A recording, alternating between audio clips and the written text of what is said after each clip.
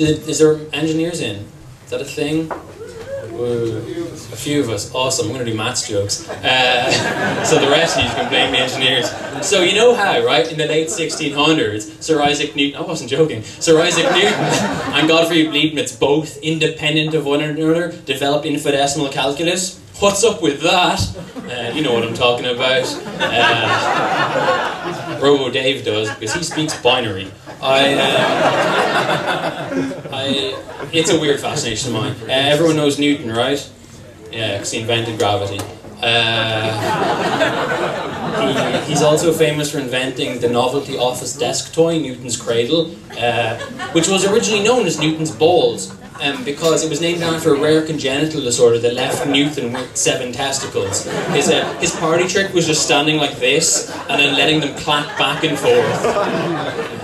There's any students, don't quote me on that. Um, yeah, not a lot of people know Leibniz, which is uh, he did some cool, I say cool, and within the realms of maths, cool things. He, uh, as a response to Newton's gravity, he invented anti-gravity.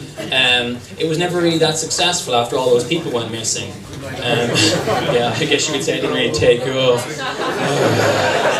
I know, I know, right? Uh, no, Leibniz, Leibniz sort of was quite accomplished. By the time he was 18, he had a master's, and by the time he was 21, he had a doctorate. I turned 21 a few months ago. My greatest achievement has been completing Minesweeper on Medium, so you got to give it to him. Uh, some people will know Leibniz's name because he has a type of chocolate biscuit named after him. Uh, for any biscuit aficionados. The, the Choco Leibniz. Uh, you're thinking that's a strange legacy for a mathematician and a philosopher to have a type of biscuit named after him. But of course, he's not the only one because we do have Hobbes Nobbs. Uh, joke there about late 1500s Thomas and Hobbes. Uh, yeah, no, ending on a philosophy point is a bit uh, a bit nichey or a bit Nietzsche. Well, uh,